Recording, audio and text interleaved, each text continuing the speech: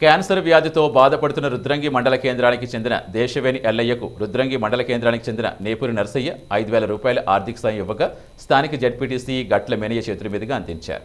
ఈ సందర్భంగా జడ్పీటీసీ మాట్లాడుతూ నిరుపేదైన ఎల్లయ్యకి ఇటీవలే ఆపరేషన్ జరిగిందని కీమోథెరపీ వైద్య ఖర్చుల కోసం మరో ఆరు లక్షలు అవసరం కాగా విషయం తెలిసి నర్సయ్య ముందుకు రావడం అభినందనీయమన్నారు. మునుముందు మరింత మంది ముందుకొచ్చి ఎల్లయ్యకు ఆర్థిక సాయం అందించాలని కోరారు. ఈ కార్యక్రమంలో నాయకులు మాడిశెట్టి ఆనందం మంచి రాజేశం తోకల తిరుమల్ చేప్యాల గణేష్ గజ నరసయ్య గంగాధర్ తదితరులు పాల్గొన్నారు.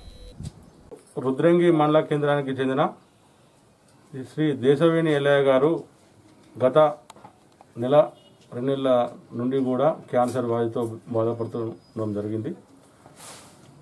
వారు మా దృష్టికి తీసుకురావడం జరిగింది. ఆర్థిక పరిస్థితి బాగాలేనందున మా దృష్టికి తీసుకురావడం జరిగింది. గతంలో కూడా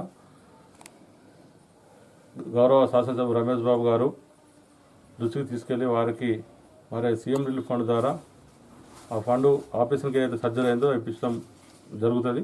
అంతేకాకుండా ఈ సర్జరీ అయిన తర్వాత కూడా ఇంకా ఏడెనిమిది లక్షల ఖర్చు ఉన్నది పేషెంట్లు హైదరాబాద్ పోయి ట్రీట్మెంటు చేయించుకోవడం జరుగుతుంది కాబట్టి అది కూడా దృష్టి తీసుకొస్తే మా నేవూరు నర్సే అనే వ్యక్తి మంచి మనసుతో బిల్డింగ్ షాపు.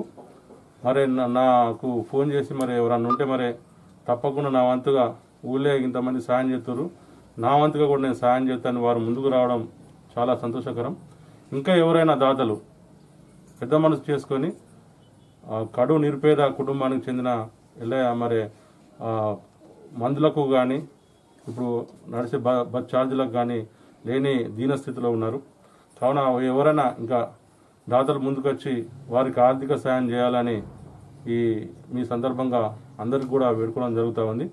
మరి మంచి మనసుతో ఈ ఐదు వేల రూపాయలు వారికి అందించినందుకు వారికి కూడా ప్రత్యేక కృతజ్ఞతలు ధన్యవాదాలు తెలుపుకుంటూ ఇంకా ఎవరన్నా కానీ కూడా ముందుకు రావాలి దాదాలు అని ఈ సందర్భంగా తెలుపుకుంటూ మునుముందు కూడా వారికి ప్రభుత్వ పరంగా ఎటువంటి లబ్ధి అయినా కానీ కూడా చేకూర్చే విధంగా స్థానిక శాసనసభ రమేష్ బాబు గారి దృష్టికి ఇంతకుముందు తీసుకుపోవడం జరిగింది.